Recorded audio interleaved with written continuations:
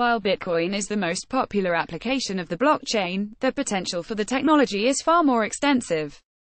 Philanthropies, non-profit associations, social ventures, and government offices are starting to investigate how they could utilize the innovation to propel endeavors going from re-establishing land records to helping individuals who need sufficient proof of identity for legal purposes. The blockchain could solve a lot of problems. We have identified four primary zones that nonprofit and social associations should efficiently deliver to convey their primary goal, moderateness, responsibility, consistent quality, and attractiveness. The incredible at aid technology is using. Check out its work here, https colon slash slash t.co slash qcow4elka 2l. They should guarantee a dependable stream of financing to keep programs working. Also, they should advertise themselves to potential benefactors, partners, and customers.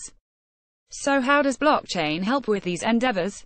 In the first place, it helps efficiency by diminishing expenses and waste in currency transactions. It also empowers entire value chains by executing and sharing data in a trustworthy, effortlessly auditable way. The innovation also enhances responsibility and moderates misrepresentation by offering greater transparency over an organization's entire operation.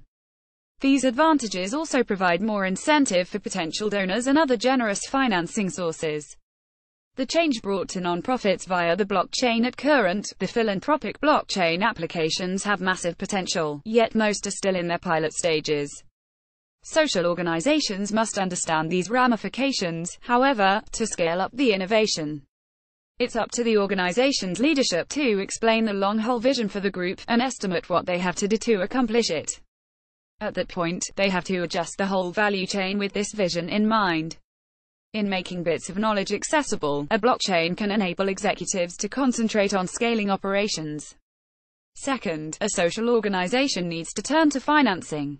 Working with experienced industry players and utilizing open source solutions can give an advantage and cut down expenses. On the other hand, an organization could also assemble a proprietary blockchain arrangement and make it accessible to different agencies, and thus generating another revenue stream. Lastly, organizations need to recognize the significance of a feedback loop in successful leadership. By gathering ongoing input from schools, the group can not just track the results of their work, but can also find solutions to improve.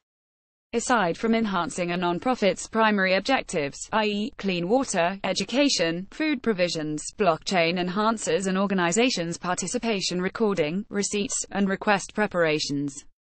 Most importantly, the ability to accomplish goals in a social organization lays in trust. This value comports the energy of the system and should carry a firm closer to achieving its central mission. All of these objectives, especially within a non-profit organization, make blockchain technology an ideal opportunity.